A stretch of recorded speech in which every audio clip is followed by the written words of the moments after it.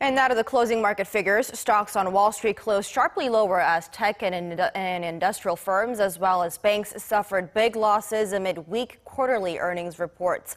The Dow Jones Index fell to a three-week low, logging a triple-digit drop of 112 points, or half a percent, to finish at 23,329. The S&P 500 also had its worst session since mid-October, losing 0.5 percent to 2557.1. 1.15, and the tech-laden Nasdaq shed a little over a half a percent to finish at 6563.89.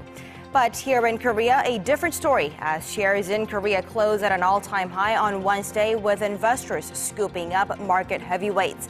The benchmark Kospi edged up less than 0.1% to close at 2492.5 and the local currency fell against the greenback.